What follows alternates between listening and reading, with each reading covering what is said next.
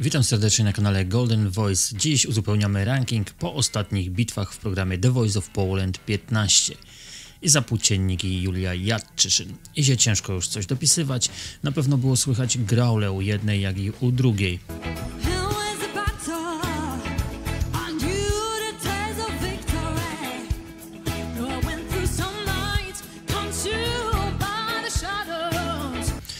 W nokautach lepiej będzie coś wyłapać dodatkowego, aby dopisać. Paweł Mosek i Damian Szewczyk, dwóch panów z dołu tabeli. Czy coś ten występ poprawił?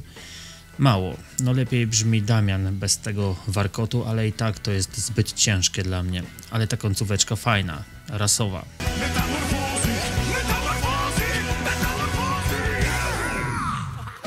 Paweł nic nowego nie pokazał.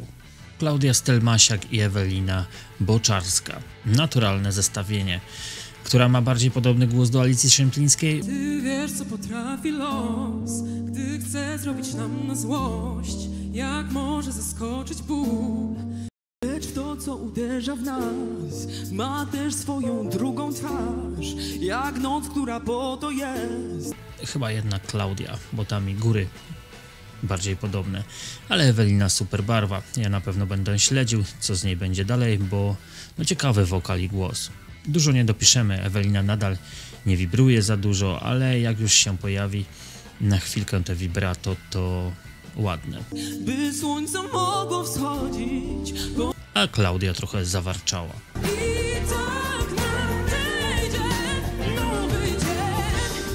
Patrycja Ciborowska i Piotr Sieluk. Moim zdaniem źle dobrane głosy, choć ładne barwy, ale nie pasowały do siebie moim zdaniem, a w drugiej części utworu to już się rozjechały totalnie.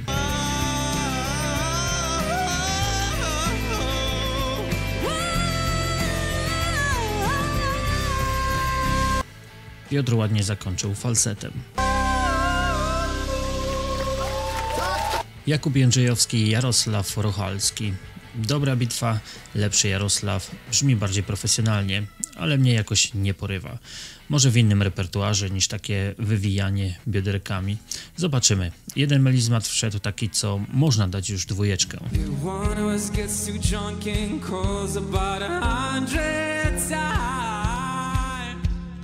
Iga Ośko i Aleksandra Itkowska. Iga ładnie weszła w utwór, w górach przyjemniej, dużo przyjemniej dla mnie brzmiała Ola.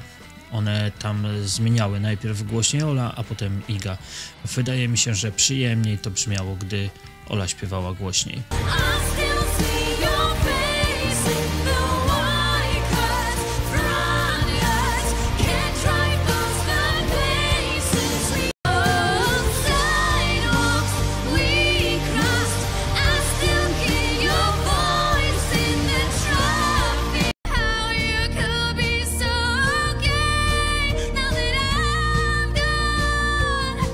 Wybrałbym do następnego etapu Ole. Wydaje mi się, że brzmi dźwięczniej i też ma większe możliwości wokalne, ale Szpak wybiera zazwyczaj odwrotnie niż ja bym wybrał.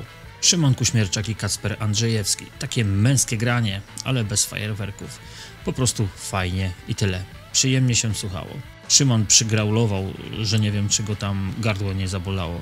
Tak siarczyście.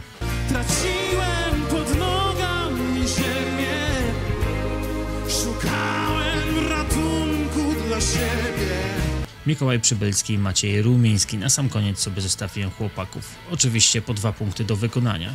Podobała mi się i piosenka, podobało mi się i wykonanie i nie mam pytań.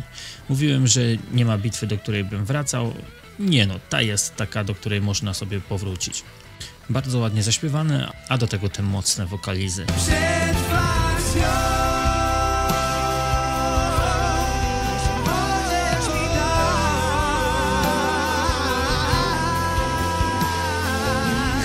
jeżeli chodzi o ranking, to ten występ podciągnął Mikołaja znacznie. Maciej też poszedł lekko w górę i chłopaki stali się moimi faworytami. No i zacięcie się tam robi w górze. Ciekawe co będzie po nokautach. Czekamy na sobotę. Do usłyszenia.